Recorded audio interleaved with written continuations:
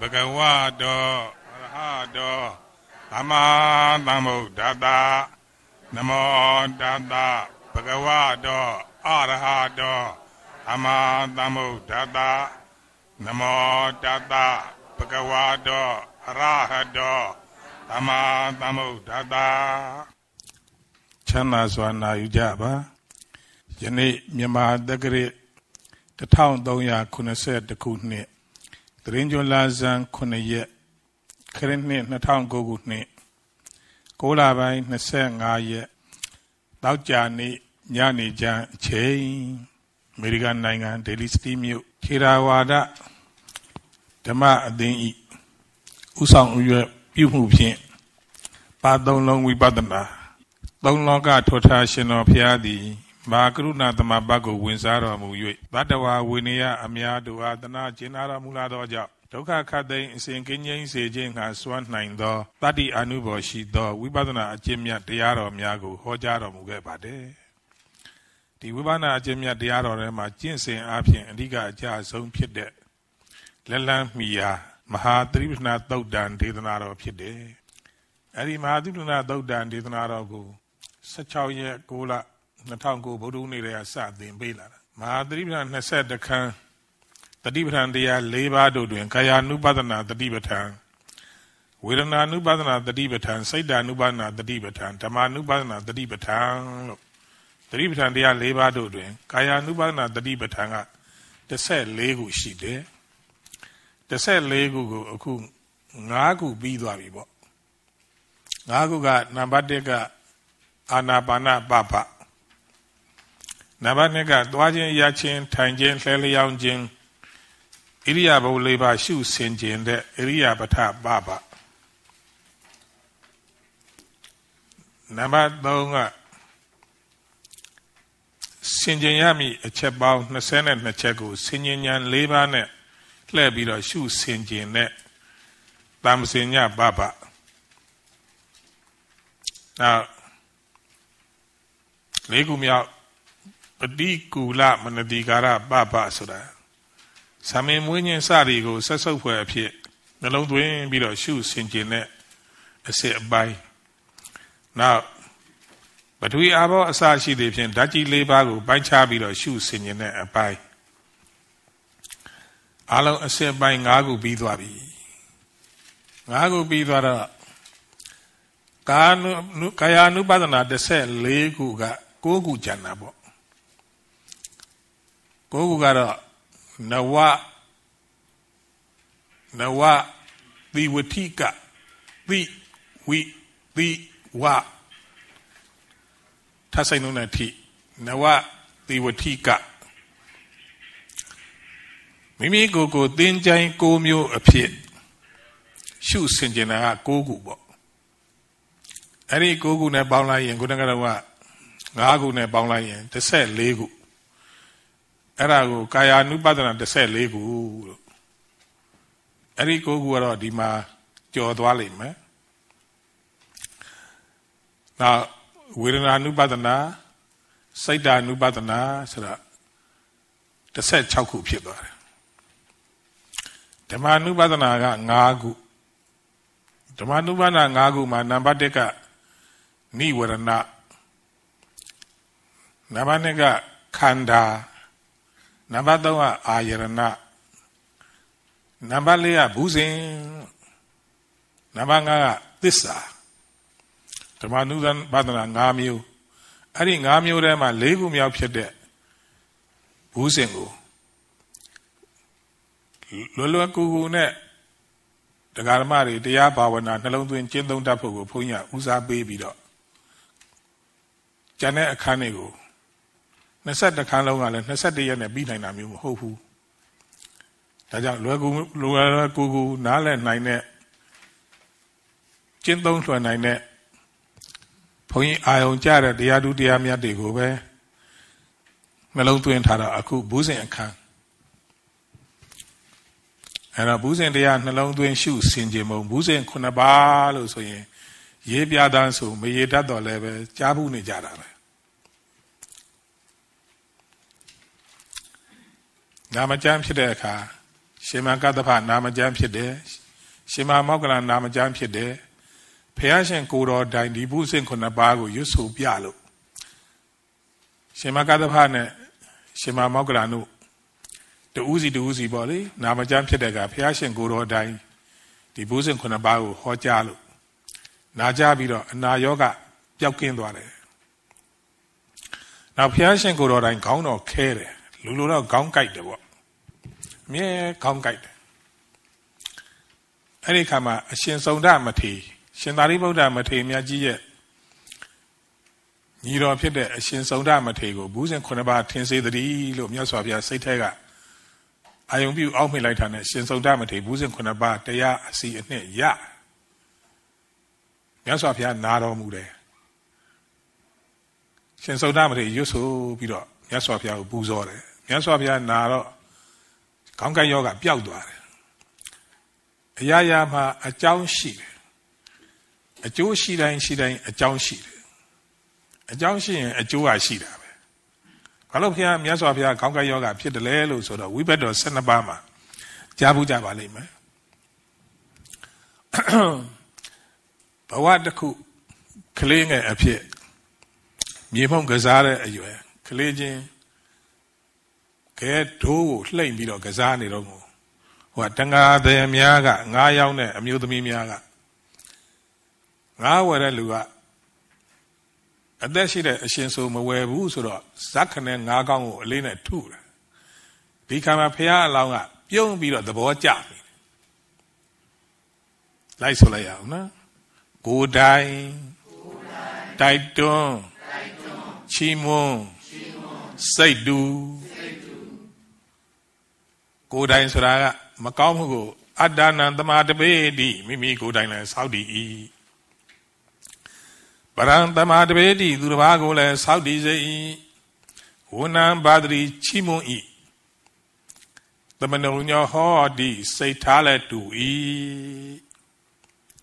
သူတစ်ပါးမကောင်းမှုပြုတာကိုမြင်လို့ရှိရင်ကိုယ်တိုင်ပြုတယ်လို့ပဲကိုယ်တိုင်ပြုတယ်အာကုသို့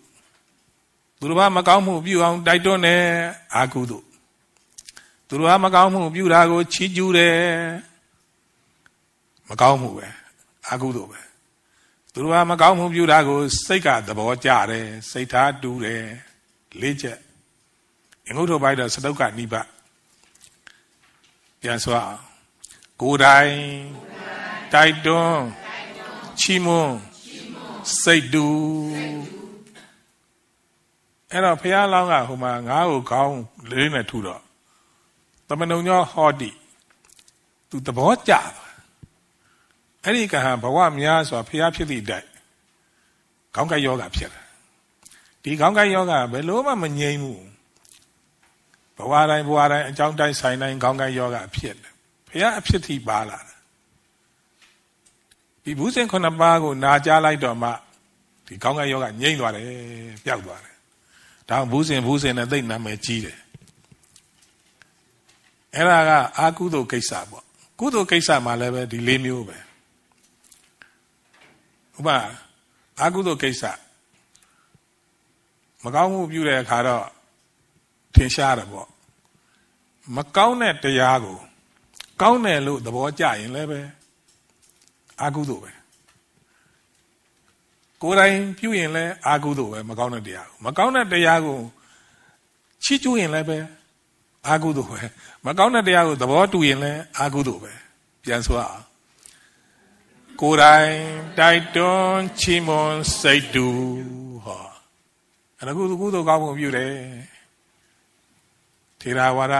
ဓမ္မအသင်းကဦးစီးဦးဆောင်တဲ့တိုက်တိုက်တွန်းတွန်းနဲ့သူတော်ကောင်းတွေကို တိုက်တွန်းတယ်အဲ့ဒါကုသိုလ်ပဲကိုယ်တိုင်လည်းပဲအားထုတ်တယ်ကုသိုလ်ဒီလိုကုသိုလ်ကောင်းမှုကိစ္စကိုချီးမွမ်းတယ်ကုသိုလ်ရတယ်သဘောတူတယ်ကုသိုလ်ရတယ်အင်္ဂုတ္တပါဠိတော်မှာပထမအုပ်မှာစာမျက်နှာ38မှာမကောင်းတဲ့တရားကိုနာမိအစားပြင်းနေတာအိတ်နေတာမှကောင်းသေးတယ်လို့သူဘုရားရှင်ဟောတယ်ဒုရခာတိဘိခဝေ ဒုရခာတိဘိခဝေယောကုတိတော်ဝိဟရတိသောဒုက္ခံသေးတိဘေခွေဝယံတို့ဒုရခါတိမကောင်းသဖြင့်ဟောအပ်သောဓမ္မဝိနည်းဓမ္မဝိနည်းကိုယောအကျဉ်သူသည်ကုတိတော်နာယူရမှပြင်းလျက်ဝိရတိနေ၏သောထိုသူသည်ဒုက္ခံချမ်းသာစွာဝိတိနေသည်မြည်၏မဟုတ်မမှန်တဲ့တရားတွေကိုနားထောင်မဲ့အစား ဒုက္ခံသေးတိအိတ်နေတာမှကောင်းသေးတယ်ပြင်းနေတာမှကောင်းသေးတယ်တဲ့အဲ့တော့အရာရာမှာပေါ့ဒီလေးခုကတကောက်ပြန်ဆိုအောင်ကိုယ်တိုင်တိုက်တွန်းချီးမွန်စိတ်တူအဓိပ္ပာယ်ပေါ်လွင်ပါတယ်ဖရာအလောင်းကလေးပဲမြင်တာနဲ့သူသွားပြီးတော့ပြုံးနေတာသဘောကျမိတာသူတို့ကအသက်တတ်တာကိုလေပြုံးပြီးတော့သဘောကျမိတာနဲ့အဲ့ဒီခေါင်းကယောဂဖရာဖြစ်တည်တဲ့အောင် မပြောက်ဘူးတပိသာဝကဖြစ်တဲ့သုံဒမထေကိုဘူးစင်ခုနှစ်ပါးထင်စေသည်ဆိုအောင်ပြုတ်ပြီးတော့ခိုင်ရွတ်ပေးသားမှာဆိုတော့မှဒီခေါင်းကယောဂပျောက်သွားဒီအကြောင်းတွေကထင်ရှားပါတယ်အဲ့တော့ဒီမှာဝိပဿနာရှုဆင်ခြင်တတ်ဖို့ဦးစားပေးသွားမှာကိုသို့တော့ခုနှစ်ပါးလုံးဆိုတော့ဖြည်းဖြည်းဖြည်းဖြည်း ဒီနေ့မပြီးတော့လဲနှစ်ဖြင့်ပေါ့အဲနှစ်ဖြင့်တော့မရှိဘူးလေမန္တေးပေါ့ဟုတ်တယ်မို့လားဘူဇင်္ဂဘူဇင်္ဂတိဗန္တေဂုဇတိဗန္တေရွှေဖုံတော်သခင်ရှင်မင်းမြတ်ဖရာဘူဇင်္ဂဘူဇင်္ဂတိဘူဇင်ဘူဇင်ဟူ၍ဟောစတိစုစုပွင့်ညာဖရာရှင်တို့မိန်ကြတော်မူပါပေ၏ကိတ္တဝဒနုခောဗန္တေဘူဇင်္ဂတိဟောစတိ ဗန္တေရွှေဖုံတော်သခင်ရှင်မင်းမြတ်ဖရာကိတ္တဝတ္တဗေမြဖြင့်ဘူဇင်္ဂတိဘူဇင်ဟု၍ဥစ္စတိမိတ်ဆိုအပ်ပါသနည်းဖျားအဖြောင်းစကားလေးဟာအရှင်ဖျားဘူဇင်ဘူဇင်ဟု၍ဆိုကြပါသည် အရှင်ဖျားအဘယ်မြဖြင့်ဘူဇင်ဖြစ်ပါသနည်းဖျား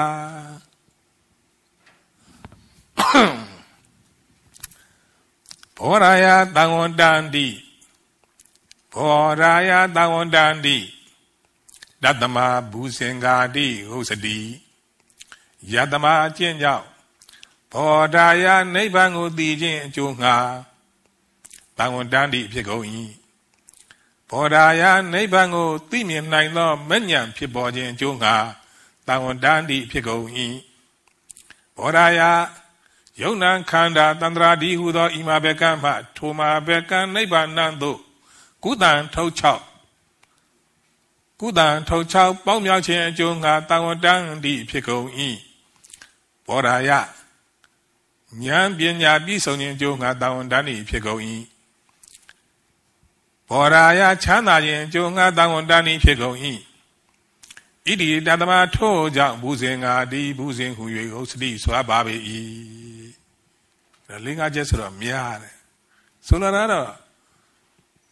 ဒုက္ခခတ်တဲ့ငြိမ့်တဲ့နိဗ္ဗာန်ကိုကူးတန်းနေတာကိုဘူးစင်လို့ခေါ်တယ်ဒုက္ခခတ်တဲ့ငြိမ့်ရငြိမ့်ကြောင်းအတိညာဖြစ်ပေါ်လာအောင်ကျင့်သုံးနေတာကိုဘူးစင်တို့က နိဗ္ဗာန်ကူးတန်းတဲ့ညာကိုဘူးစင်အဲ့ဒါဘူးစင်ဆိုတဲ့ပုံမှာဘောဓိအင်္ဂလို့နှမျိုးရှိတယ်ပုတ်ခွဲလိုက်တဲ့အခါကျတော့ဘောဓိအယမညာဖူညာဖြင့်သိမြင်သောနိဗ္ဗာန်ကိုရကောက်မညာဖူညာနဲ့တကွနိဗ္ဗာန်ကိုကောက်အင်္ဂအယမညာဖူညာ ဖြစ်ပေါ်ခြင်းအကြောင်းတရားကိုကောက်အင်္ဂဆိုတာအကြောင်းလေအမှလူမှာအင်္ဂါရှိတယ်ကြည့်လိုက်လို့ရှိရင်တချို့အင်္ဂါချိုးယွင်းတယ်တချို့အင်္ဂါနဲ့ပြည့်စုံတယ်တချို့အင်္ဂါကောင်းလိုက်တာကြာရင်လက္ခဏာမြင်ရတာကောင်းလိုက်တာဘာလို့ကောင်းလဲသီလကောင်းလို့ကောင်းတယ်သီလကောင်းရင်အင်္ဂါကောင်းတာပဲသီလညံ့လို့ရှိရင်အင်္ဂါညံ့တယ်အနာယောဂဘာကြောင့်ထူပြောလဲ သီလအားနည်းလို့အနာယောဂထူပြောတယ်သူ့ဘာလို့လင်ကိုဟောတယ်ဘုရားရှင်ကာမဝိပင်ကတုံးမှာကံကိုဝေဖန်ပြီးတော့ဟောတယ်တုံးမှာ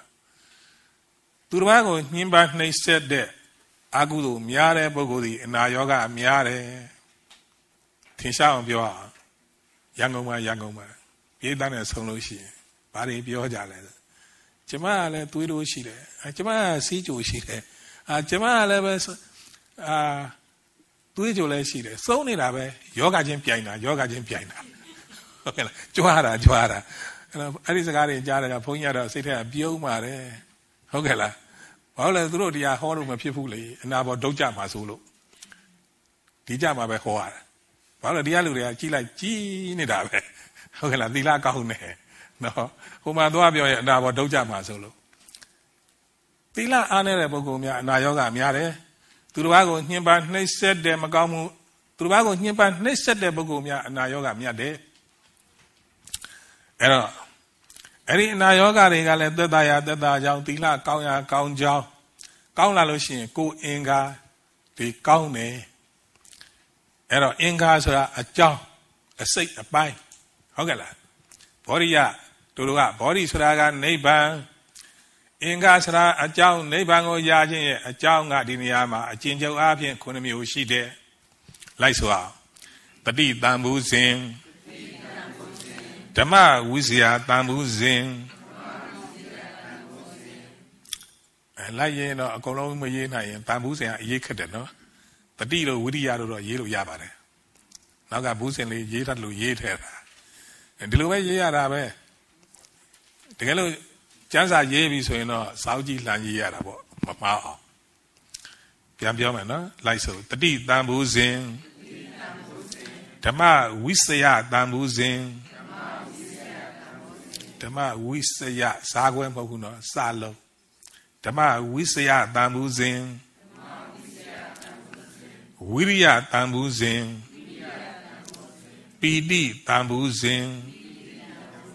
ပတ္တိတန်ဘူးစဉ် တမာတိတန်ဘူးစဉ်ဥပေက္ခတန်ဘူးစဉ်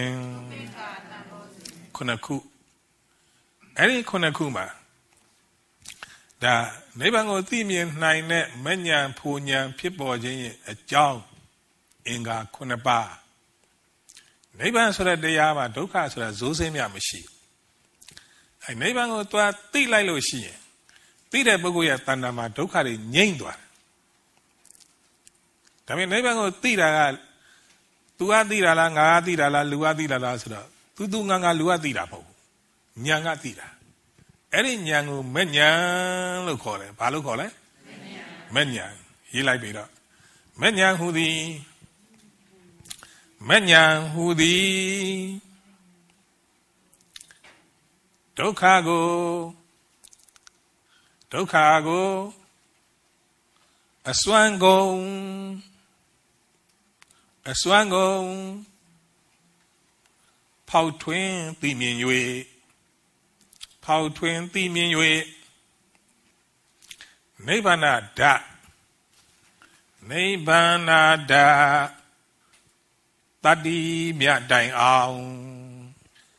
နိဗ္ဗာန်ဓာတတိမြတိုင်အောင်သိမြင်သောအသိဉာဏ်အမြင်ကို သိမြင်သောအသိဉာဏ်အမြင်ကိုမဉဏ်ခငယ်နဲ့တမဉ္ဇဉ်ဟုစွာပါပေ၏ဘုရားစာတရားအသားကြီးပဲအဲ့တော့ဒုက္ခကိုအစွမ်းကုန်ဖောက်ထွင်းနေဆိုတာဒုက္ခဆိုတာကဟိုမေတ္တာနာနာအကြောင်းမှာတော့တင်းတင်းငွေညနေကိုဒုက္ခနဲ့နိဗ္ဗာန်ကိုမူတည်သင်ပေးပါတယ်ဒီမှာတော့ ရန်ကုန်မှာတည်းကဒကာကြီးဦးကြည်တို့ကတယ်လီဖုန်းနဲ့လျှောက်တယ်ဆရာတော်ဘုရားဒီရောက်ရင်တတိပဋ္ဌာန်ချီးမြှောက်ပါဘုရားထပ်တလဲလဲအဲ့တော့ဒီမှာတတိပဋ္ဌာန်ကိုစမိသွားတယ်အဲ့တော့မူချထားတာကမူချထားတယ်ဆိုတာဘုန်းကြီးမူချထားတာမဟုတ်ဘူးနော်ဖះရှင်မူချထားတာလေးခုလေစေစေတသိက်ယောနိဗ္ဗာန်ဘယ်နှခုလဲ အဲ့လေးခုကလွှဲရင်ကျန်တာအကုန်လုံးဒုက္ခဒါပြင်ဒုက္ခဆိုတဲ့တရားကဘယ်တရားလဲဆိုရင်စိတ်တွေမှန်းသမျှစေတသိက်တွေမှန်းသမျှရုပ်တွေမှန်းသမျှအဲ့ဒါဒုက္ခဟုတ်ကဲ့လားအဲ့ဒုက္ခကိုအစွမ်းကုန်ဒုက္ခအလျင်ဖြစ်အလျင်ဆိုတာမပြတ်ဘူးမဥပမာရေအလျင်စီးနေလို့ရှိရင်ဂျားထဲမှာရက်နေသေးလားမရက်ဘူးဟုတ်ကဲ့လားရေအလျင်စီးနေ ထို့တူပဲတတ္တဝါတတ္တဝါဆိုတဲ့လူနာပြမှာတတ္တဝါတို့ရဲ့တဏ္ဍာမှာစိတ်တွေစရသိတ်တွေရုပ်တွေကရှစ်ရှစ်ဟာတွေပြက်ပြီးနောက်နောက်ဟာတွေအသေးအသေးအသေးအလျင်ဖြစ်အဲ့ဒီအလျင်ရဲ့ဟိုရေအရင်လို့ခေါ်တာပေါ့ရေရှိရင်ကန်းရှိတယ်နော်ရေဘလောက်ပဲစီစီနောက်ဆုံးကန်းကြတော့လွန်နိုင်သေးရလားမလွန်နိုင်ဘူးထို့တူပဲနိဗ္ဗာန်ကန်းနဲ့တူတယ်နိဗ္ဗာန်ဆိုကန်းနဲ့တူတယ် အဲ့တော့ဉာဏ်ကဒုက္ခကိုကြည့်ရှုမြင်မှများတဲ့အခါကျတော့ဒုက္ခကိုအစွမ်းကုန်ကန်းကုန်အောင်လည်းမြင်လိုက်ရောနိဗ္ဗာန်တည်းသောကန်းလည်းဉာဏ်ဆိုင်သွားရောအဲ့ဒီဉာဏ်ကိုစာလုံးမဉဏ်လို့ဆိုပါသည်ဟုတ်ကဲ့လားမဉဏ်မဉဏ်လို့ဆိုပါသည်မဉဏ်ဆိုတာဘာလဲဟဲ့ဆိုရင်လောကုတ္တရာစိတ်အဲလောကုတ္တရာစိတ်ဆိုဘာစိတ်လဲဆိုရင်အဲ့ဒီစိတ်ဘောဆိုပြီးသွားဒါသိညိုဆရာဝိပဿနာဉာဏ်နဲ့သွားတဲ့အခါကျတော့ဉာဏ်အသွားကိုသွားတာ အဲ့ဒီဉာဏ်ပေါ်လာအောင်မဲ့ဉာဏ်ဆိုတဲ့နိဗ္ဗာန်ကိုသွားသိနိုင်တဲ့ဉာဏ်ပေါ်လာအောင်ဘောဓိကနိဗ္ဗာန်နော်အင်္ဂအကြောင်းနိဗ္ဗာန်ကိုသိနိုင်တဲ့ဉာဏ်ပေါ်လာအောင်အကြောင်းအင်္ဂါ9ပါးဘုရားရှင်ဟောတော်မူတယ်အကြောင်းရှင်အင်္ဂါ9ပါးကတတိတံမှုစဉ်ဓမ္မဝိဇ္ဇာတံမှုစဉ်ဝိရိယတံမှုစဉ်ပီတိတံမှုစဉ် ဗဒရိတံမှုစဉ်တမာတိတံမှုစဉ်ဥပေက္ခတံမှုစဉ်ဒီခုနှစ်ပါးအကြောင်းဒီခုနှစ်ပါးအကြောင်းထဲမှာတခါအကြောင်းအကျိုးဝေဖန်ကြည့်လိုက်ရိုးရိုးလေးအကြံပြင်းလေးပေါ့ရိုးလေးစားတတိတံမှုစဉ်ဓမ္မဝိဇ္ဇာတံမှုစဉ်ဝိရိယတံမှုစဉ်အဲ့ဒီသုံးခုကအကြောင်းကျန်တဲ့လေးခုကအကျိုးတတိ တန်မှုစဉ်ဓမ္မဝိစီယတန်မှုစဉ်ဝိရိယတန်မှုစဉ်ဒီသုံးခုကအကြောင်းကျန်တဲ့လေးခုကအကျိုးအဲ့ဒီသုံးခုမိမိတန်တာမှာဖြစ်ပြီဆိုရင်မိမိတန်တာမှာဖြစ်ပြီလို့ဆိုလို့ရှိရင်ကျန်တဲ့လေးခုပေါ်လာတာပဲအဲ့တော့ဘုရားစကားအတိုင်းနာယူကြည့်ကြအောင်လေမဟာသတိပဋ္ဌာန်သုတ်ဓမ္မနုပဒနာအခန်းက ဘူးစင်ကပပဆိုတဲ့အခန်း၄ခုကိုဟုတ်ကဲ့လားဘုရားစကားတရားအတိုင်းတို့အတိုင်းကြားလိုက်လို့ရှိရင်ဘလောက်ပဲနှိမ့်ကြတဲ့အဖြစ်မျိုးရောက်နေစိတ်ကမူတခါတည်းကိုအစ်စ်မြင့်တဲ့အဖြစ်မျိုးရောက်သွားတာဘလောက်ပဲဆောက်ရောက်နေကမူတိုးတက်ချင်ပါတယ်ကောင်းစားချင်ပါတယ်ဆိုရင်ဒီဘုရားစကားတရားအသားရိုးသေးသေးနားထောင်လိုက်တာနဲ့တပြိုင်နက်တရားသဘောကိုလုံးဝမသိသေးဘူးနော်ဘုန်းကြီးထပ်တလဲလဲပြောတယ်နတ်ပြည်ရောက်သွားတယ် နတ်ပြည်ရောက်တော့နတ်သားနတ်သမီးဖြစ်ပြီဆိုတဲ့အသည့်ကနောက်ကြတယ်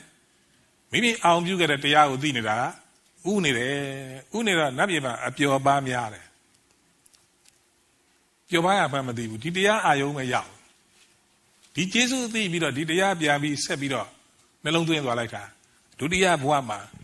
ဝိသခာအနာရဘိန်လိုဘုံစင်စမ်းသွားနိုင်တာပဲတရားစစ်တရားမှန်နေရအဲ့ဒါကိုတရားတော်ဟာအာကိုထိုက်တယ်အာကိုရအစ်စ်ဖြစ်တယ် အဲ့ဒါသဘောကျအဲ့တော့ဒီသုံးမျိုးကတတိတမှုစဉ်ဓမ္မဥစ္စာတမှုစဉ်ဝိရိယတမှုစဉ်သုံးမျိုးကအကြောင်းဒါဖြင့်အဲ့ဒီသုံးမျိုးအဲအားလုံး9မျိုးပေါ့လေဒီ9မျိုးကိုလူလိုပြောရလိမ့်မယ်ဖះတဆူတဆူပွင့်မှာ ဒီဘူးစဉ်9ပါးကိုထုတ်ဖော်ပြီးဟောတယ်ဖះမပွင့်ဘူးဆိုရင်ဘူးစဉ်9ပါးမရှိဘူးသူလည်းဒုံတစ်ပါးတရားပဲဖះတဆူတဆူပွင့်မှာပဲဘူးစဉ်9ပါးကိုဟောတယ်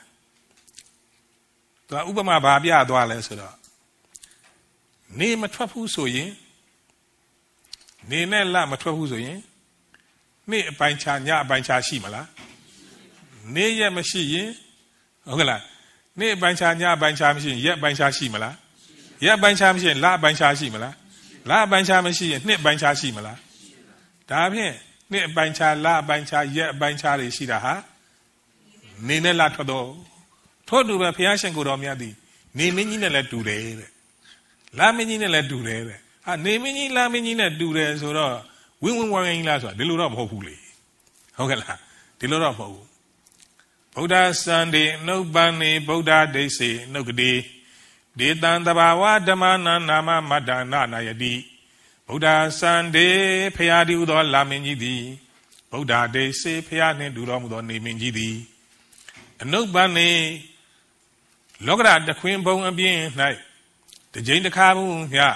မဖြစ်ပေါ်ညာအံတေတံထိုတရားတို့ဤထိုတရားတို့ဤစား ခန္ဓာပဲအာမပဲဓာတ်ပဲသစ္စာပဲအနိစ္စပဲဒုက္ခပဲအနတ္တပဲဆိုတဲ့တရားတို့ဤ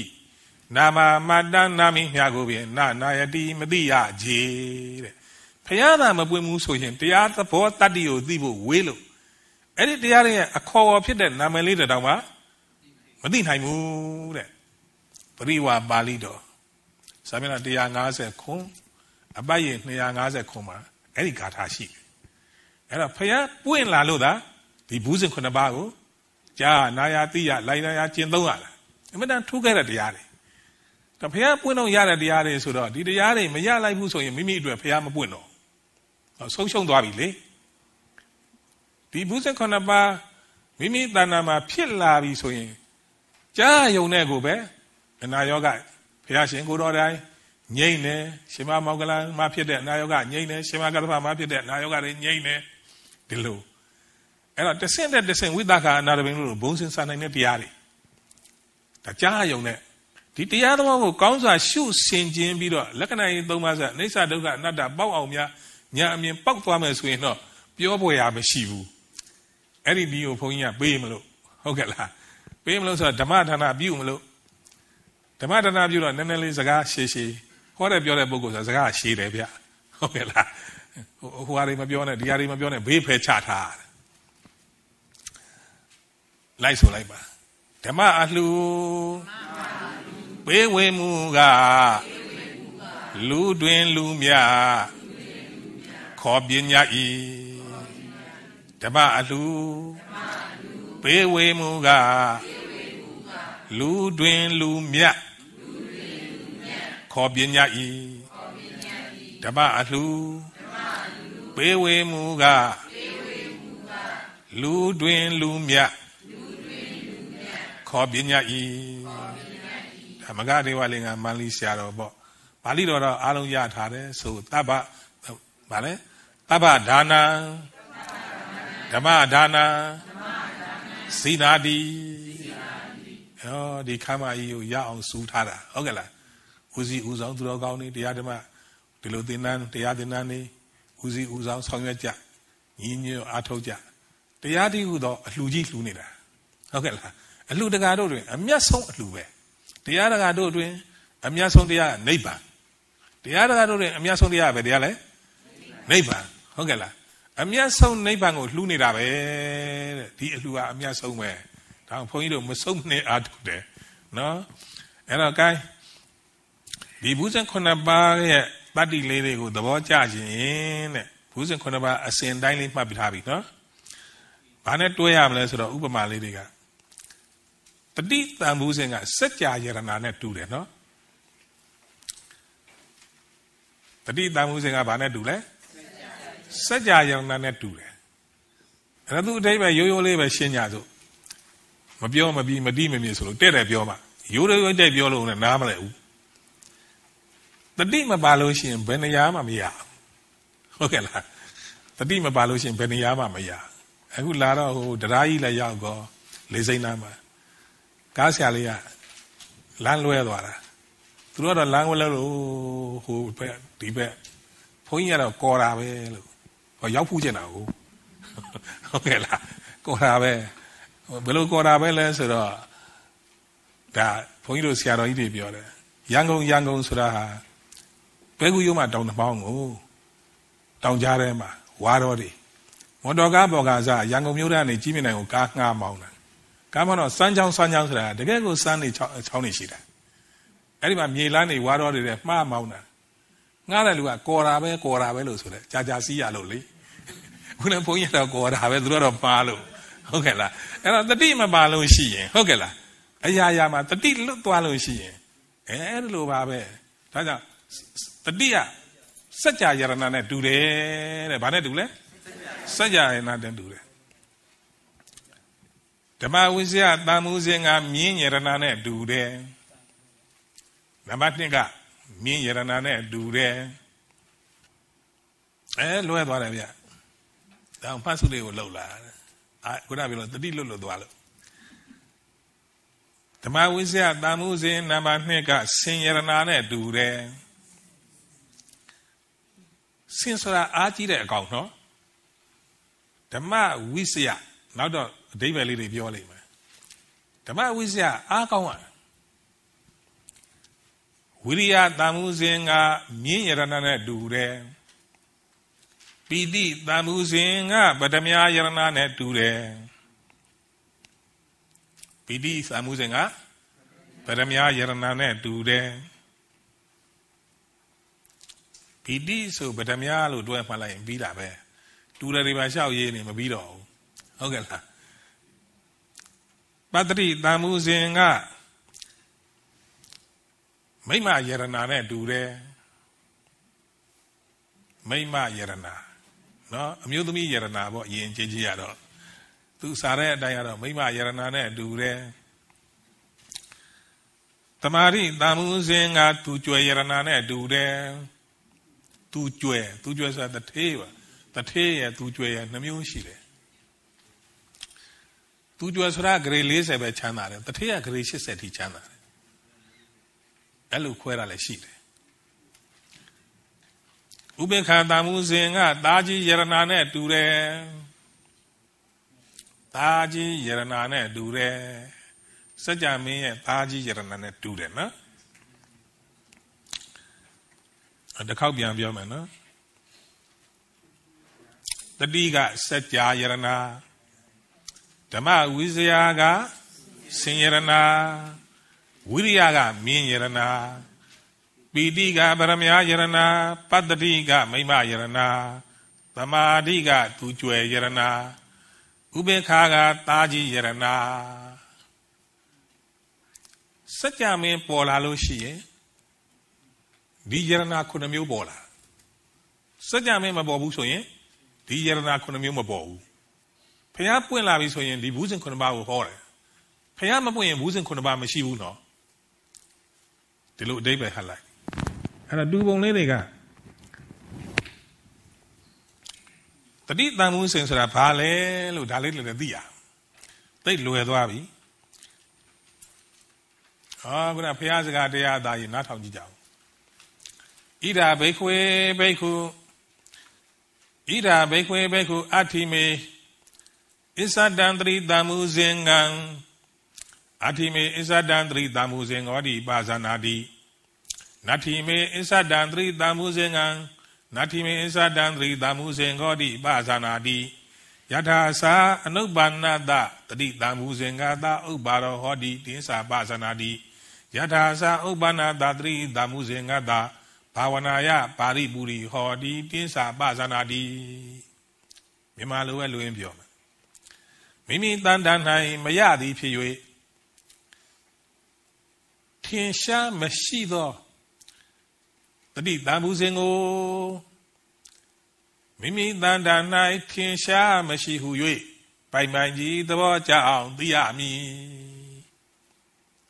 မိမိရဲ့အစ္ဆဒမှာတတိတံဘူးစဉ်မဖြစ်ဘူးဆိုရင်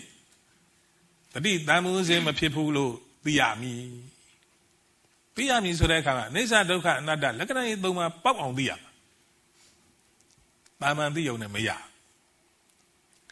မိမိတန်တာမှာရသည်ဖြစ်၍ထင်ရှားရှိသောတတိတမှုစဉ်ကိုမိမိတန်တာ၌ထင်ရှားရှိသောတတိတမှုစဉ်ဟု၍ပိုင်းပိုင်းကြီးသဘောကျအောင်သိရမည်တို့တို့ကဒီနှစ်ချက်စင်ကြယ်ရမှာ ငါရဲ့တန်တာမှာတတိတမှုစဉ်ဖြစ်ရဲ့လားတတိတမှုစဉ်မဖြစ်ဘူးလားဒီလိုစဉ်းကျင်ကြည့်ရစဉ်းကျင်ကြည့်လိုက်လို့ရှိရင်တတိတမှုစဉ်ဖြစ်တယ်ဆိုရင်လည်းဖြစ်တယ်လို့သိတယ်တတိတန်ဖို့ဆိုရင်မဖြစ်ဘူးဆိုရင်လည်းပဲမဖြစ်ဘူးလို့သိတယ်တရားဆိုတာစင်ကြင်ရအဲ့ဒါတတိပဋ္ဌာန်ဓမ္မနုပဒနာဘူးစဉ်ကအခန်းမုံတော်ဆရာတော်ရဲ့အရာကောက်တိုင်းပြောတာမုံတော်ဆရာတော်ဆိုတာ ဆရာတော်ဥပုပ်ကအနဲ့ရေးတယ်မုံတော်ဆရာတော်ကအရာကောက်ရေးတယ်အရာကောက်ဆိုတာပါဠိမပါတော့ဘူးစာသားလိုရင်းနဲ့ရေးသွားတာအနှစ်200ကျော်သွားပြီ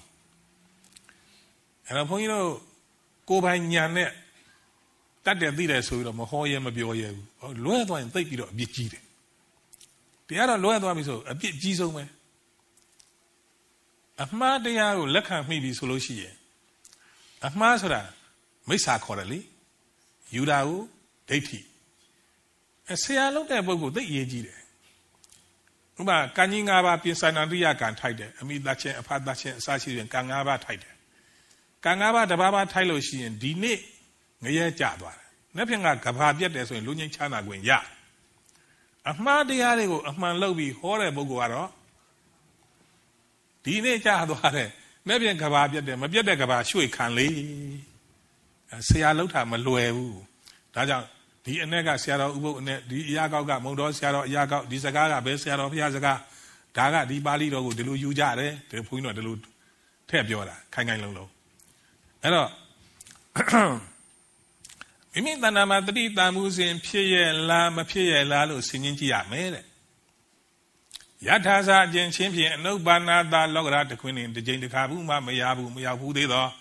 မဖြစ်စဖူးသေးသောတတိတံမှုစဉ်ကတတိတံမှုစဉ်ကို ဒီချိန်တစ်ခါမှမဖြစ်ဘူးတဲ့တတိတံမှုစဉ်ဥပ္ပန္နောဖြစ်ပေါ်လာပြီဆိုရင်လည်းပဲပါဇာနာအတိဖြစ်ပေါ်လာပြီလို့ပိုင်ပိုင်ကြီးသဘောကျအောင်သိရမယ်ဒီဘူးစဉ်ကိုသိတဲ့ဉာဏ်ကိုလည်းပဲဘယ်ဉာဏ်နဲ့သိတယ်ဆိုတာကိုနောက်ဉာဏ်ကသိရမယ်အဲ့တော့တို့တို့လေးကတတိတံမှုစဉ်မိမိတဏ္ဍာမှာရှိရလားမရှိရလားတဏိဖြစ်ရလားမဖြစ်ရလားမဖြစ်ဘူးဆိုလည်းမဖြစ်ဘူးလို့ပိုင်ပိုင်ကြီးသိရမယ်ဖြစ်ရင်လည်းဖြစ်တယ်လို့ပိုင်ပိုင်ကြီးသိရမယ် မဖြစ်တဲ့တတိတံဘူးစဉ်ဖြစ်လာတာကိုပိုင်ပိုင်ကြီးသဘောကျအောင်သိရမယ်သိတာလူကသူကငါသိတာမဟုတ်နဲ့ညာသိတာဘယ်ညာနဲ့သိတယ်ဆိုတာကိုလည်းနောက်ညာသိရမယ်အဲဒီလိုဟောထားတယ်အဲ့တော့တကယ်တရားစစ်တရားမှန်ကတရားစစ်တရားမှန်ပါဠိတော်အတိုင်းသာဆိုရင်မမှားဘူးခမပြီးတော့လည်းဒီလောက်မခက်ဘူးဟုတ်ကဲ့လားဆရာလိုတယ်ဆရာလိုတော့ဒါဖြင့်တတိတံမှုစဉ်ဆိုတာအရှင်ဘုရားဘယ်လိုလဲဘုရားလို့မေးရအဲတတိတံမှုစဉ် ဖြစ်ရလားမဖြစ်ရလားဆိုတဲ့နေရာမှာဘူးစဉ်ခုနှစ်ပါးလုံး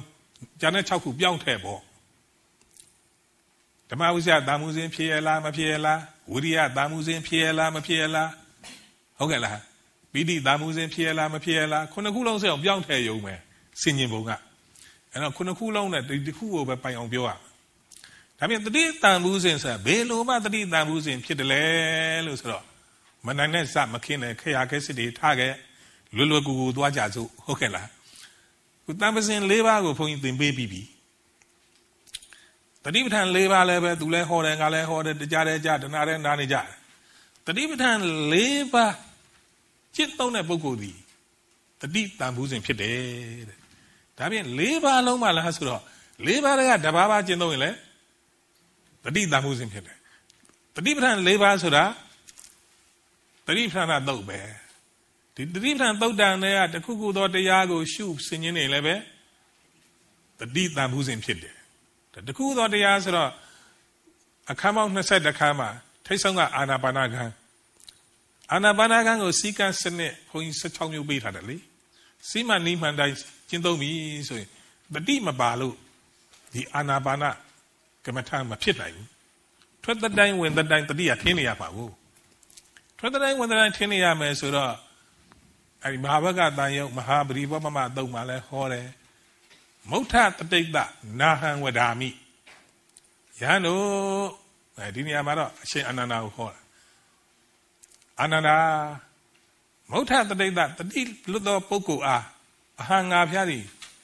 နဝရာမိကမ္မထံပေးတော့မမူကမ္မထံတရားကိုခေါ်တော့မမူဥမာတတိမပါဘဲနဲ့ရှူရှင်တိုင်းရှူရှိုက်ရှင်တိုင်းရှိုက်တယ်ပေါ့ထွက်သက်မှမသိဝင်သက်မှမသိဟုတ်ကဲ့လား တနည်းထွက်သက်ဝင်သက်သိတော့ကသိတယ်မသိတဲ့ခါမသိဘူးသိတော့ကတော့တတိဖြစ်တယ်မသိတဲ့အခါဘုရားကမ္မထံမဟုတ်ဘူးဒါရှင်းတယ်နော်နောက်အတမ္ပဇာနာတာဉာဏ်ပညာအစဉ်ချင်းကင်းမဲ့သောသူအားအဟံငါဖျားသည်နဝရာမိဟောတော်မမူတရားထုတ်တဲ့တရားထုတ်တာတတိတံပစင်ရဲ့အလုပ်အစဉ်ချင်းဉာဏ်တံပစင်မဖြစ်ရင်လည်းပဲအဟံငါဖျားသည်နဝရာမိဟောတော်မမူအဲ့ဒီဘုံကိုကျင့်တဲ့ကမ္မထာนี่ဘုရားကမ္မထာမဟုတ်ဘူး တတိရှိရမယ်အစဉ်ချင်းဉာဏ်ရှိရမယ်မရှိရင်ဘဘုရားကမ္မထာမဟုတ်ဘူးတော်ရည်ရောကြီးနဲ့တော့မရဘူးနော်လေးသိချင်းတဲ့ကဘာတသိန်းလုံးကိုအရင်စိုက်ထားရတာဟုတ်ကဲ့လားလူတွေကလွယ်လွယ်ကူကူရကြတယ်ဘုန်းကြီးတွေကလည်းလွယ်လွယ်ကူကူလုပ်ပေးတာပေါ့လွယ်လွယ်ကူလုပ်ပေးတော့လူကသဘောကျဟုတ်ကဲ့လားဘယ်တော့လွယ်ကူလဲဘုန်းကြီးတို့ရှိမှတော့ယုံထင်ကြောင်ထင်ဆိုလို့ထင်အောင်ထင်မှလုပ်ပေးလိုက်တာမင်းသောတာပန်ဖြစ်ပြီလို့ဒီစကလုံးတော့မသုံးလိုက်ဘူးပေါ့ဟုတ်ကဲ့လား ယာနာဖြစ်ပြီဒီစကလုံးမသုံးလိုက်ဘူးသူကသူဖြစ်ပြီလို့အထင်ရောက်အောင်ဒါမျိုးလေးတွေရှိအဲ့တော့ဘုန်းကြီးပြောလို့တာကတွဲယုံကြီးနဲ့တော့မလဲရတတိတတိပဋ္ဌာန်၄ပါးတပါးပါးကျင့်သုံးရင်တတိတမှုစဉ်ဖြစ်တယ်တတိပဋ္ဌာန်၄ပါးတဲ့တခုခုသောတရားကိုကျင့်သုံးနေရင်လည်းတတိတမှုစဉ်ဖြစ်တယ်တန်ပစဉ်အစဉ္ညာ၄ပါးအချုပ်ကစဉ္ညာမဲ့အချက်ပေါင်းက 22ချက်ဟုတ်ကဲ့လားအဲ22ချက်တည်းကတစ်ချက်ချက်ကိုတန်ပစဉ်၄ပါးနဲ့ဆင်ញင်းနေရင်လည်းပဲတတိတမှုစဉ်ဖြစ်တယ်ဒါကောင်းကောင်းကြီးသင်ပေးပြီးပြီနော်ပြန်နားထောင်ကြည့်ဟုတ်ကဲ့လားအတန်ဖန်ထားတာကိုပြန်နားထောင်ကြည့်ပေါ့အဲ့တော့တတိတမှုစဉ်ဖြစ်ချင်းဒါဖြင့်အဲ့ဒီအချက်လက်တွေမှမိမိနှလုံးမသွင်းရင်တတိတမှုစဉ်မိမိတဏ္ဍာမှာဖြစ်မလားမဖြစ်ဘူးဒါဖြင့်တတိတမှုစဉ်ဖြစ်အောင်ငါပဲလို့ကျင့်သုံးမယ် တစ်ချက်ရပြီနော်တတိပဋ္ဌာန်တရားကိုမဟာသီပနာသုတ်ထဲကတတိပဋ္ဌာန်တရားတစ်ခုခုကိုအားထုတ်ရင်တတိပဋ္ဌာန်ဖြစ်ပါသည်ဒါမစဉ်အစင်ဉာဏ်၄ပါးနဲ့စင်ဉာဏ်အချက်22ချက်တည်းက22ချက်လုံးကိုမဆိုထားနဲ့အကုန်လုံးလုံနိုင်ဖို့ကောင်းတာပေါ့တစ်ချက်ချက်ကိုစင်ဉင်းနေရင်လည်းပဲတတိတန်မှုစဉ်ဖြစ်ပါသည်ဒါပြင်ငါရဲ့တန်တမာတတိတန်မှုစဉ်ဖြစ်ရလားမဖြစ်ရလားလို့စင်ဉင်းကြည့်ရမယ် အဲ့ဒါတွေသိခက်တယ်လွယ်တာကတော့ကြောက်ထိတန်သူအလေးပြုအပ်တဲ့ပညာရှိသူတော်ကောင်းတို့ရဲ့ဂုဏ်ကျေးဇူးကိုအောက်မေ့တဲ့အခါတတိတန်မှုစဉ်ဖြစ်ပါသည်ကြောက်ထိတန်သူကြောက်ထိတန်တုဆိုတာဒီကြောက်တန်ကြီးမှာထိတင်ထားတာဘယ်လို့မှအရက်လေးမျက်နှာအရက်ရှင်းမျက်နှာတိုက်ခတ်တဲ့လေကြောင့်မတုံလှုပ်နိုင်ဘူးသီလသမารိပညာအလုံးခိုင်ခန့် အဲ့လိုသူတော်ကောင်းပညာရှိတို့ရဲ့ဂုံကျေးဇူးကိုအောင်းမိတ်နှလုံးသွင်းတဲ့အခါမှာသတိတမှုစဉ်ဖြစ်ပါသည်ဘုန်းကြီးထဲပြောတဲ့အထဲမှာပရမသဘောဇောဝိသီယုံနံခန္ဓာတို့ကိုပိုင်ခြား၍သိမှသာလျှင်လက္ခဏာရင်သုံးပါးကိုသဘောအတိပဲကြအောင်ကြည့်ရှုဆင်ခြင်နိုင်ပြီစတုဂတိရှုပွဲပထမတွဲစတုဂတိဆရာတော်ဘုရားကြီးအကြောင်းကိုပြောပြီးပြီလေခေါင်းလောက်ခိုင်းတယ်လေဟုတ်ကဲ့လား နှလုံးလောက်ထားတယ်လေအချိန်ကျတော့ညီတော်နောင်တော်နှစ်ပါးလုံးပဲကိစ္စပြီးသွားတယ်အဲ့ဒါအာနာပါနနိုင်ရင်အဲ့ဒီအချိန်ကိုကြိုတင်သိတယ်နော်အာနာပါနကတော့အဲ့ဒီအကြောင်းမပြောခဲ့ဘူးတာရကရှိတယ်ဒါတော့အဲ့တော့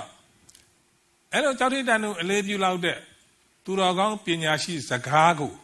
ယုံကြည်လေးမြတ်စွာခံယူပြီးတော့ဩဒီစကားပြောသွားတဲ့ဒီစာရေးသွားတဲ့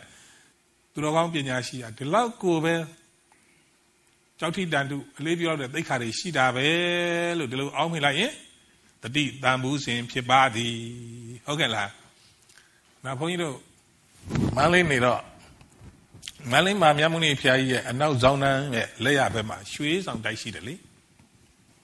ရွှေဆောင်တိုက်ရှိတယ်ဘုန်းကြီးတို့အဲ့ဒီဖျားဦးထင်းလင်းတိုက်နေတာကိုဘိုင်းတကတော့ကြောင်းနေတော့ဘုန်းကြီးကိုဆရာတော်ခေါ်ပြောတယ်ရွှေဆောင်နေရပို့ချပြီတဲ့သွားတက်ပါတဲ့ သွားတက်ပါ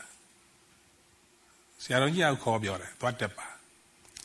ဒီရွှေဆောင်နေရကိုပို့ချပြီဆိုရင်ဒီဆရာတော်ရဲ့နောက်ဆုံးချိန်ကရောက်လာပြီဒီစာပါပြီးကနေကြရင်ပြန်တော်မူတာပဲအစင်လာပဲအစင်လာပဲအဲ့လိုပြောတော့သွားတက်တယ်ဟုတ်တယ်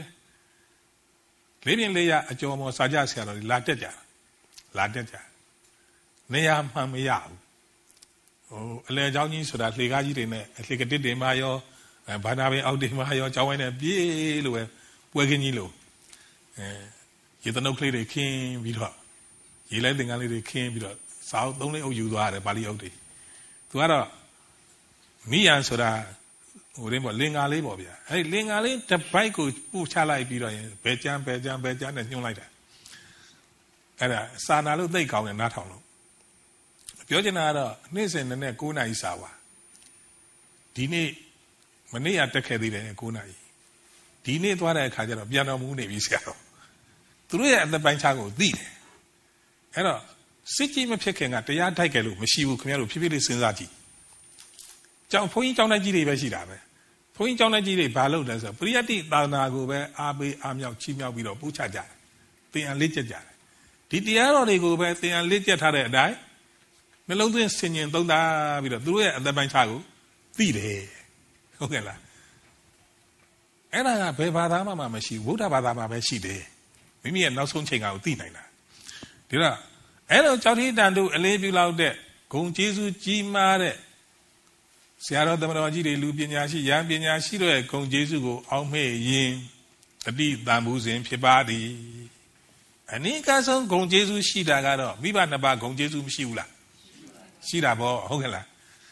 ဟိုတချို့က ဖះပဲစမထားမလဲဟိုထားဒီထားလေကြတဲ့ထားရှာနေမှာထားအဲ့ဒါဘလို့လဲလို့မေးတယ်လို့ရှိတယ်ဘုရားယရနာအမျက်ဆုံးမှမသိလို့သူထားခြင်းတဲ့နေရာထားတာလေအလှထားတာလေဟုတ်ကဲ့လားအမျက်ဆုံးမှသိရင်မုံမြတ်တဲ့နေရာထားတာပေါ့ဥပမာလူတို့သုံးဆောင်တဲ့ယရနာဟာတန်ဖိုးရှိတယ်ဆိုလို့ရှိရင်ပုစုပစက်ထားမလားဟုတ်ကဲ့လားလုံခြုံတဲ့နေရာမှာထားတာပေါ့ထို့အတူပဲတကယ်ကိုဘုရားယရနာကဂုံကျေးဇူးကိုသိရင်ဟုတ်ကဲ့လား တကယ်ကိုမုံမြတ်တဲ့နေရာမှာအမျက်ဆုံးနေရာမှာထားတာပေါ့ပြောလို့တာကဘုရားပုံကြီးတွေဘာဖြစ်လို့ထားအထုထုတ်ရတာလဲပုံစံကြီးတွေဆေးရေးဘာလို့လုပ်ရတာလဲအာယုံပြုတ်ပြီးတာပဲဟုတ်ကဲ့လားအာယုံပြုတ်နိုင်တဲ့ဉာဏ်ရှိတဲ့ပုဂ္ဂိုလ်ဖို့တော့ဟုတ်တယ်ဉာဏ်နှုတ်တဲ့ပုဂ္ဂိုလ်ကြတော့မိဘနှစ်ပါးရဲ့ပုံရှိမယ်ဆိုရင်မိဘနှစ်ပါးပုံမြင်လိုက်တိုင်းမိဘနှစ်ပါးရဲ့ကျေးဇူးကိုမထင်ဘူးလားအဲဒါကြောင့်ဘုရားပုံကြီးတွေထားရတာဟုတ်ကဲ့လားနော် ဒါခီးသွားဟန်လို့ပြောသွားတာအဲ့တော့မိဘနှစ်ပါးရဲ့ကျေးဇူးကိုအောက်မေ့လိုက်ရင်ပฏิတန်မှုစဉ်ဖြစ်တာပေါ့မဖြစ်ဘူးလားအဲ့တော့အလကားနဲ့အလကားပဲတော့လှုပ်ရှားရှိတာလှုပ်တာပေါ့သွားစရာရှိလဲသွားတာပေါ့ဟုတ်ကဲ့လားအားရှိတဲ့အခါမိဘနှစ်ပါးရဲ့ဂုံကျေးဇူးဆရာသမားရဲ့ဂုံကျေးဇူးဖရာယောင်နာရဲ့ဂုံကျေးဇူးတရားရနာရဲ့ဂုံကျေးဇူးသံဃာရနာရဲ့ဂုံကျေးဇူးသံဃာနာရဲ့ဂုံကျေးဇူးဘုန်းကြီးပြောသွားပြီကြီးညိုတတ်တဲ့သရတရားရှိတဲ့မန္တလေးမြို့သူမြို့သားတွေဟာ မျက်စိနှလုံးပွင့်ဆိုတဲ့ဘုန်းကြီးတွေလမ်းပေါ်မှာ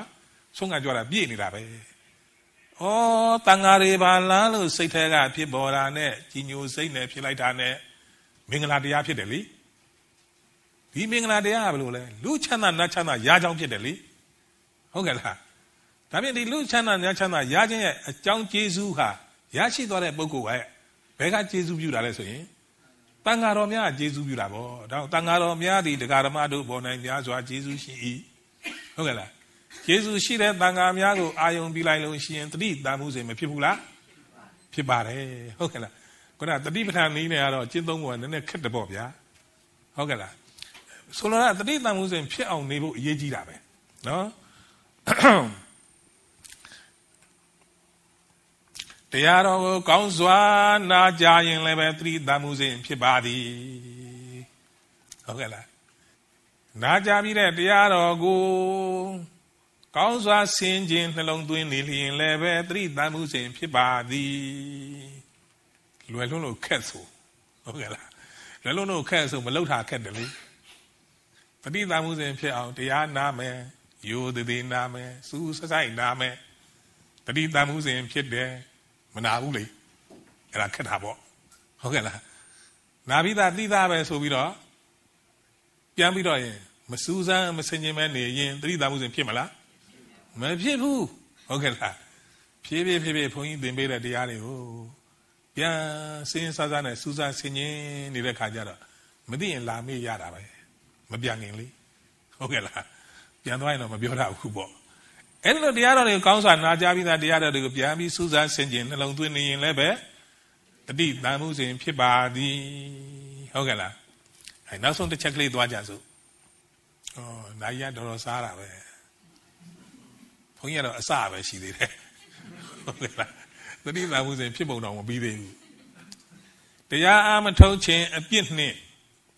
တရားအာမထုတ်ခြင်းအပြစ်နှင့် တရားအာထုတ်ခြင်းအကျိုးကျေးဇူးကိုတရားအာထုတ်ခြင်းအကျိုးကျေးဇူးကိုနိုင်ချိန်၍နိုင်ချိန်၍စင်ကြင်လျင်လဲနိုင်ချိန်၍စင်ကျင်လျင်လဲတတိတန်မှုစဉ်ဖြစ်ပါသည်တရားဘာဝနာအာမထုတ်ခြင်းရဲ့အပြည့် ပါဠိတော်နဲ့အထက်ကရာနဲ့အဖွင့်ပုံလေးနားထောင်ကြည့်မယ်ပါဠိတော်ဆိုတာကမြတ်စွာဘုရားနှုတ်တော်ထွက်တဲ့စကားအထက်ကရာဆိုတာကမြတ်စွာဘုရားရဲ့မျက်မှောက်တော်မှာနားထောင်လိုက်လို့သူနားလဲတာကိုနောက်လူနောက်သားအတွက်မှတ်တမ်းတင်ခဲ့တဲ့စကားဘုရားရှင်ကဘာဟောချလိုက်လဲပฏิသင်္ခာယောနိသောတတိတမှုစေကံဘာဝေတိ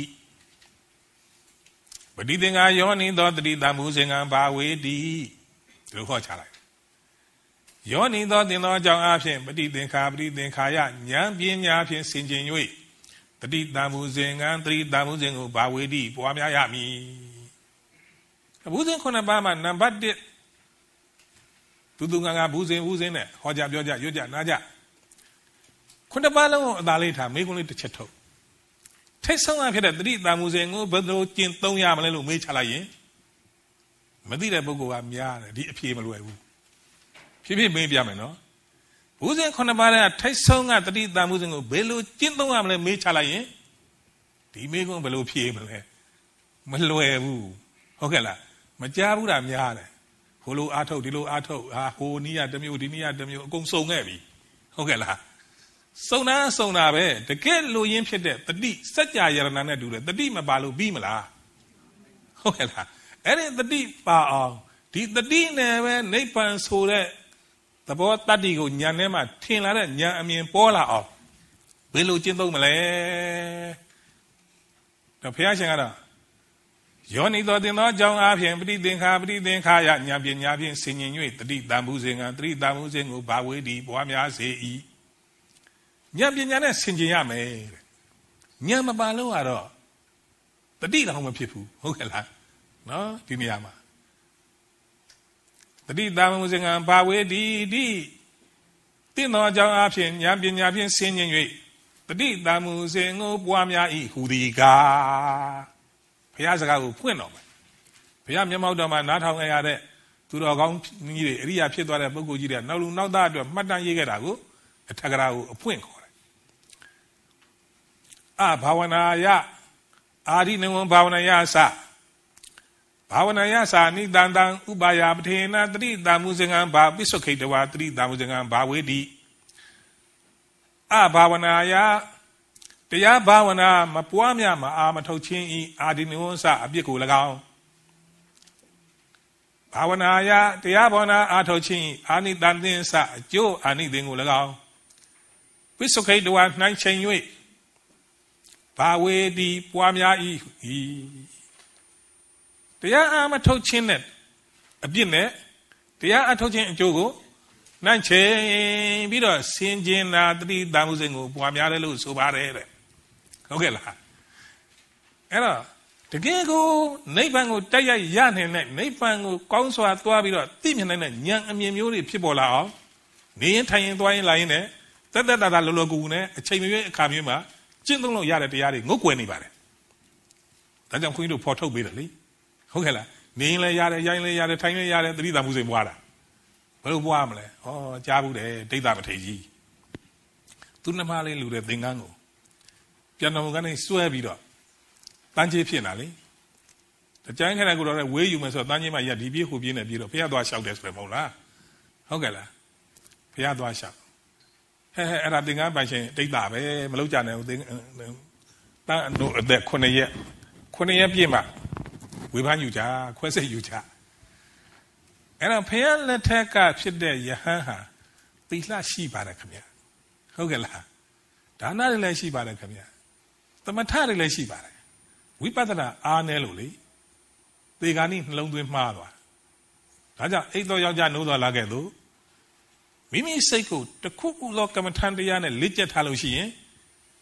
သေရညောင်ဆောင်ခလျောင်းတဲ့အခါကျတော့ ဘာမှအားကိုးရမရှိဘူးလက်ကျက်ထားတဲ့ကမ္မထန်လာထင်အောင်လုပ်ရမယ်ဟုတ်ကဲ့လား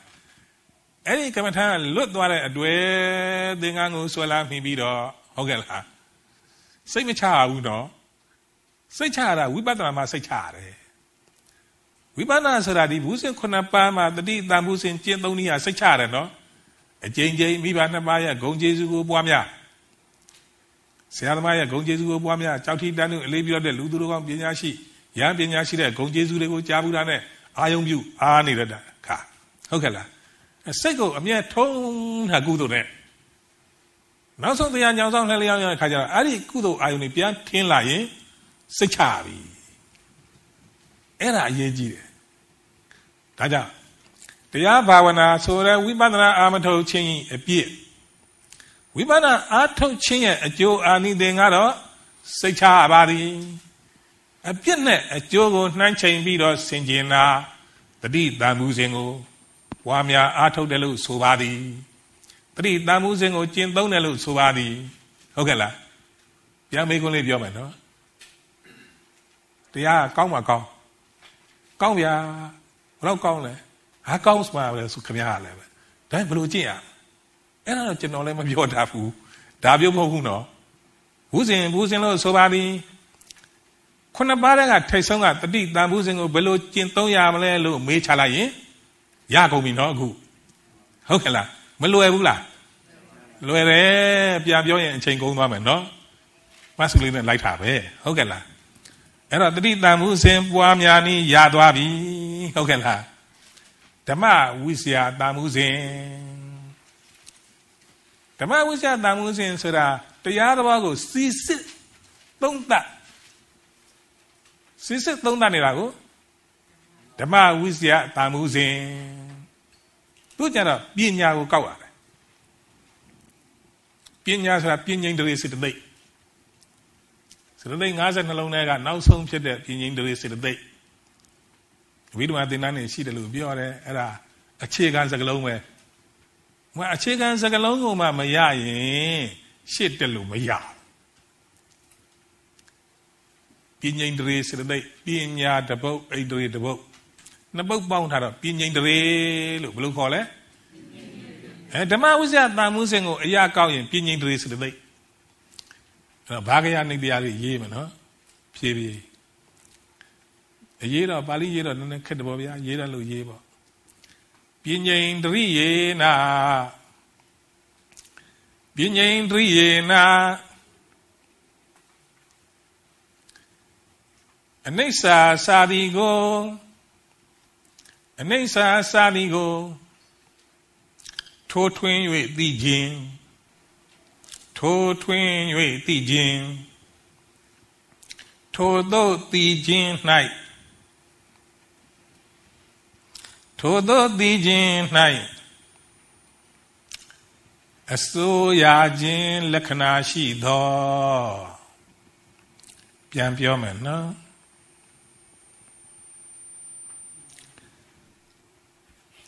ဓမ္မဝိစယတာမှုစဉ်ဆိုတာဓမ္မဝိစယမဟုတ်ဘူးနော်စာလုံးဓမ္မဝိစယတာမှုစဉ်ဆိုတာတရားတော်ကိုစီစစ်တဲ့ဉာဏ်ပညာကိုကောက်ရတယ်ရယူရတယ်ဒါဖြင့်ဘာဂယနိတ္တယသိညုနိတ္တယကပညာဣန္ဒြိယေနာအနေစာစသည်ဖြင့်ထိုထွင်း၍သိခြင်းထိုသောသိခြင်း၌အစိုးရခြင်းလက္ခဏာရှိသောပညာဣန္ဒြိစရဘေ အိန္ဒြိယအစိုးရအစိုးရလည်းဆိုတာဒီအနေဆသဘောကိုသိတဲ့မြင်တဲ့ညမှာထင်တဲ့အခါမှာပိုက်မိုက်နိုင်နိုင်သိမြင်တာကိုအိန္ဒြေလို့ခေါ်တာပါပဲအစိုးရတယ်လို့ခေါ်တာပါပဲအဲ့တော့24ပစ္စည်းထဲမှာအိန္ဒြိယပစ္စည်းမရှိဘူးလားအဓိပတိပစ္စည်းရောမရှိဘူးလားအဓိပတိပစ္စည်းကလည်းအစိုးရတယ်အိန္ဒြိယပစ္စည်းကလည်းအစိုးရတယ်အစိုးရတာချင်းအခေါ်တူပေမဲ့လို့အတန်တွက်ချင်းတူလို့အဓိပ္ပာယ်ချင်းမတူဘူး ဥပမာအိန္ဒြေယစက္ကုံတရေသောတိန်တရေဂာနိန်တရေဇီဝိန်တရေကာယိန်တရေမနိန်တရေလို့အိန္ဒြေ6ပါးမရှိဘူးလားစက္ကုံတရေကကျန်တဲ့အိန္ဒြေကိုသူကအစိုးရလို့မရဘူးနော်ဟုတ်လားသောတိန်တရေကလည်းပဲသူနေရာသူပဲအစိုးရတယ်ဟုတ်ကဲ့လားဒေရမင်းဧကရမင်းတို့အစိုးရတာနဲ့တူတယ်အဓိပတိအစိုးရတာတော့စัจ java ဒရိုင်းလုံးကိုအစိုးရလို့ စัจ java ရင်းမင်းတို့အစိုးရတာနဲ့တူတယ်အဓိပတိအစိုးရတာအဲဒီနေရာမှာဝိပဿနာဝိပဿနာဆိုတာကအနိစ္စဒုက္ခအနတ္တဉာဏ်အမြင်ပေါက်အောင်ရှုတာကိုဝိပဿနာနော်အဲ့တော့အနိစ္စဒုက္ခအနတ္တဆိုတဲ့လက္ခဏာရေးသုံးပါးဉာဏ်ထဲမှာပိုက်မိုက်နိုင်နိုင်ထင်တာကိုပြင်းငိမ့်တရေဓမ္မဥစ္စာတန်မှုဆိုတာအဲ့ပြင်းငိမ့်တရေကိုပြောတာ ဒါဖြင့်ငါရဲ့တဏ္ဍာမှာဓမ္မဥစ္စာတန်မှုစဉ်ထင်ရှားဖြစ်ရဲ့လားမဖြစ်ရဲ့လားလို့ဆင်ញင်ကြည့်ရမယ်ဆင်ញင်ကြည့်လိုက်တဲ့အခါငါအခုဒီချိန်ဒီခါမှာအာယုန်တွေများပြီးတော့ဓမ္မဝိဇ္ဇာတာမှုစဉ်မဖြစ်ဘူးတရားတော်တွေကိုမစီစစ်နိုင်ဘူးမရှုမမြင်နိုင်ဘူးလို့ဆိုရင်ဓမ္မဝိဇ္ဇာတာမှုစဉ်ဖြစ်အောင်ဘာလုပ်ရမလဲဆိုတော့အဘိဓမ္မာသင်ရမယ်ဒီမှာအဘိဓမ္မာသင်တန်းရှိတာသိကောင်းမယ် ဒါစိတ်ကစိတ်သဘောကဘယ်လိုစိတ်သဘောကဘယ်လိုယုတ်သဘောကဘယ်လိုအဘိဓမ္မာသင်ရနောက်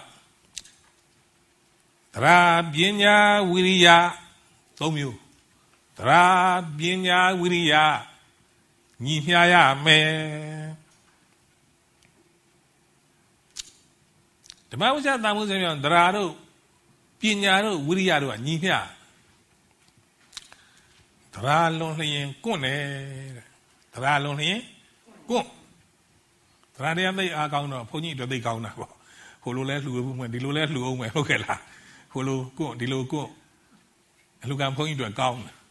မြတ်မြတ်ရတာပေါ့တရားတရားသိပြီးတော့အားပြုတဲ့ပုဂ္ဂိုလ်ကဥဆောင်လိုက်တော့ဟိုကလည်းလူသေးတွေကလည်းလူသေးဟုတ်ကဲ့လားဒါတရားလုံးလင်းကွန့်ဝိရိယလုံးလျင်ပြန့်ပြန့်နေစားစိတ်တွေပြန့်လွင်တယ် ဝိရိယသိအားကောင်းတော့ဥဒိစ္စဖြစ်တယ်ဆိုတာလေစိတ်တွေပြန့်လွင်လွန်းတယ်တမာတိလွန်လျင်တွန့်တမာတိလွန်လျင်တွန့်တွန့်နေဆိုစိတ်တွေစုပ်နေတယ်ဒါကြောင့်သရာပညာဝိရိယတမာတိညီမျှရမယ်ဟုတ်ကဲ့လား သရာကိုပညာနဲ့ထိမ့်လို့ပညာကိုဝိရိယတမာတိနဲ့ထိမ့်လို့အဲ့ဒီလိုဆိုရင်ဓမ္မဝိဇ္ဇာတာမှုစဉ်ဖြစ်တယ်တဲ့အဲ့ဒါခက်တယ်ပေါ့ဗျာဟုတ်ကဲ့လားသဘောတတ္တိလေးတွေကိုလိုက်စားဖို့ဆိုတာအဲ့တော့လွယ်တာသွားမှာလွယ်တာသွားတဲ့အခါကျတော့ဒီတရားတော်တွေကိုလိုက်စားတဲ့အခါမှာရှေ့သူတော်ကောင်းတို့သူမြတ်တို့ဒီတရားလမ်းအတိုင်းသွားတာပဲ ငါလည်းသူတော်ကောင်းပဲဒီလမ်းကြောအတိုင်းလိုက်မယ်အဲ့လိုနှလုံးသွင်းရင်လည်းပဲဓမ္မဥစ္စာတန်ဖိုးစဉ်ဖြစ်တယ်တဲ့ဒီတရားဓမ္မလမ်းကြောင်းကြီးကတော့ရှေ့သူတော်ကောင်းတို့သွားတဲ့လမ်းကြောင်းကြီးပဲငါလည်းသူတော်ကောင်းပဲဒီတရားလမ်းကြောင်းတိုင်းလိုက်မယ်ဟုတ်ကဲ့လားဆိုကြဆိုဘယ်လိုလဲတတိတန်ဖိုးစဉ်ဖြစ်ကြောင်းလေးကိုဗျာအောင်ပြလိုက်ရင်တခုပြီးတခုငါနဲ့ကြိုက်တာပဲအချက်လဲဟုတ်ကဲ့လား ဩရှေ့သူတော်ကောင်းတို့တတိတန်ဖိုးစဉ်မဖြစ်ဖြစ်အောင်ဒီလိုဆင်ញင်သုံးသပ်သွားတာပဲနောက်ဆုံးချက်ကလေးတရားအာမထုတ်ခြင်းကအပြစ်ရှိတယ်တရားအားမထုတ်လို့ရှိရင်ပြုတဲ့ကောင်းမှုတွေကလူချမ်းသာနတ်ချမ်းသာတော့ရမယ်လူချမ်းသာနတ်ချမ်းသာရကုသိုလ်ကံလဲကုံရောဒီကုသိုလ်ကုံလို့ရှိရင်အောက်ပြန်ဆင်းရတို့လိုလေးရအဲ့ဒါလူချမ်းသာနတ်ချမ်းသာဟိုခံစားနေတဲ့အခါမှာခံစားတဲ့ပုံကိုမရဘူးလား အဲ့ဒီပုံကဟာအိုခြင်းနာခြင်းသိခြင်းကင်းမလားဒါပေမဲ့ဒုက္ခငြိမ့်ရလားဒီကုသိုလ်ကုံရင်လဲအောက်ဖို့ပြန်ဆင်းမယ်ဆိုတော့တက်တာပါမလားမတက်တာဘူးတော့စိတ်မချဘူးဟုတ်ကဲ့လားမလှူရမတန်းအောင်မဟုတ်တော့ကုသိုလ်မပြုအောင်တော့ကုသိုလ်ပြုတဲ့အခါမှာတတိပါဟုတ်ကဲ့လားတတိပါတတိတန်မှုစဉ်ပါဘလို့ပါမလဲဩဝိပဿနာရှုအောင်ပါပဲ ဘယ်ကုသိုလ်ပဲပြုပြုမိမိတဏ္ဍာမှာဖြစ်လာတဲ့ကုသိုလ်စိတ်ဟုတ်ကဲ့လားအဓိကစိတ်ပေါ့စိတ်ကိုပထမဆုံးထည့်အောင်ရှုရမှာဘုန်းကြီးတို့ဒီကကားနဲ့ပြန်သွားတော့ဘုန်းကြီးတကကြီးကတတိပေးတယ်ဆရာတော်ဘုရားတဲ့အရှင်ရထတို့အကြောင်းလေးလည်းပြောပါအောင်ဆိုဘုန်းကြီးကမေ့နေတာကြာပြီ၄၅၆နှစ်ရှိပြီသိတူတူပြောကြဆိုအင်းဝအကျော်အရှင်ရထစာဆိုလေ တောင်တွင်းအကျော်ကရှင်မသီလဝန်လေရှင်မသီလဝန်သားအင်းတောင်တွင်းအကျော်အင်းဝရောက်လာတဲ့ခါကျတော့အင်းဝအကျော်ရှင်ရထသာရမေးတယ်သူတို့ချင်းပညာရင်းရှင်ပြန်လိုက်တဲ့အခါကျအင်းဝရှင်ရထသာရကသူရဲ့ဂုံကျေးဇူးကိုဘာပြောလဲဆိုစူးဆောက်ပမာရထတာလို့စူးလို့ဆောက်တော့ဟာထွင်းလိုက်လို့ရှိရင်သိပ်ထက်တယ်လေသူညာဟာလည်းထက်တဲ့အကြောင်းစူးဆောက်ပမာရထတာ ဒါဒါနဲ့တောင်တွင်းအကျော်ရှင်သူလူကပြန်ပြောတယ်တောင်ကိုမဖောက်တောင်ကိုမဖောက်တောင်ကိုဖောက်သည်စိန်ကြောက်အတွင်တီလဝင်ဆိုတော့ဘလူကသာသွားတယ်ဟုတ်ကဲ့လားအရှင်သူလူကသာသွားတယ်ဒါလို့ပညာရှိခြင်းကိုရှင်ရထသာရမေးတယ်ငါရှင်တောင်းတွင်းကြော်မေးတယ်ငါရှင်အင်းဝနေပြီးတော့ဘာနဲ့လာခဲ့တယ်လဲဒီလိုမေးတယ် ဒုက္ခဒုက္ခဆိုလို့ချင်းကုန်းချောင်းကလှဲနဲ့ရေချောင်းကလှေနဲ့ဟုတ်ကဲ့လားဒီတစ်ခုခုဖြေရမှာပေါ့အဲ့တော့ဖြေပုံလေးကတပည့်တော်သည်ကုန်းချောင်းရေချောင်းလှဲနဲ့လှေနဲ့လာခဲ့သည်မဟုတ်ဟုတ်ကဲ့လားတပည့်တော်သည်ကုန်းအင်းဝနေပြီးတော့ကိုကုန်းချောင်းရေချောင်းလှဲနဲ့လှေနဲ့လာခဲ့သည်မဟုတ်အဟုတ်တော်က မဟာကုသိုလ်ညာနာတံပြုတ်အသင်္ခါရိကစိတ်နဲ့လာခဲ့ပါသည်ဖရာဟုတ်ကဲ့လားလာခြင်းနဲ့စိတ်မဖြစ်ဖ ೇನೆ သွားလို့ရမလားအဲ့ဒီစိတ်ကသူများတိုက်တွန်းလို့လာတာမဟုတ်ဘူးတဲ့သူကသူလာခြင်းလို့လာတာဆိုအသင်္ခါရိကစိတ်ဟုတ်ကဲ့လားအင်းဝနေပြီးတော့လာတဲ့အခါမှာသာနာပြုအောင်လာတာဒါကြောင့်ညာနာတံပြုတ်ပြန်နှားထောင်ကြည့်နော်အင်းဝအကျော်ရှင်ရထကရှင်ရထသာရက တောင်းတွင်းအကျော်မေးတယ်ပေါ့ငါရှင်ဘာနဲ့လာခဲ့တယ်လဲပညာရှိချင်းသိကြောက်ဖို့ကောင်းတယ်နော်ဟုတ်ကဲ့လားဟောရိုးရိုးမေးပုံရပါလိမ့်မယ်အဲ့တော့ဟောဖြေးချလိုက်တာအရှင်ဖေဟာတပည့်တော်သည်ကုန်းချောင်းရေချောင်းလှဲနဲ့လှင်းနဲ့လာခဲ့သည်မဟုတ်အဟုတ်တော်ကမဟာကုသိုလ်ညာနာတံပြုံစိတ်နဲ့လာခဲ့ပါသည်ဖေဟာရှင်းရလားခင်ဗျားတို့ဘာနဲ့လာခဲ့လဲကားနဲ့လာခဲ့တာပေါ့ ဟုတ်ကဲ့လားဝိပဿနာရှုတယ်ဆိုတာလေးခုပုံလားစေစေတသိက်ယောနိဗ္ဗာန်လူကျင်တာ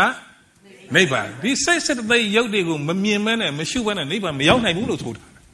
အဲလာခြင်းလို့လာတာပဲရောက်မလဲဟုတ်ကဲ့လားလာတဲ့ကငါစိတ်ဘာစိတ်လဲဟုတ်ကဲ့လားငါစိတ်ကဘာစိတ်လဲ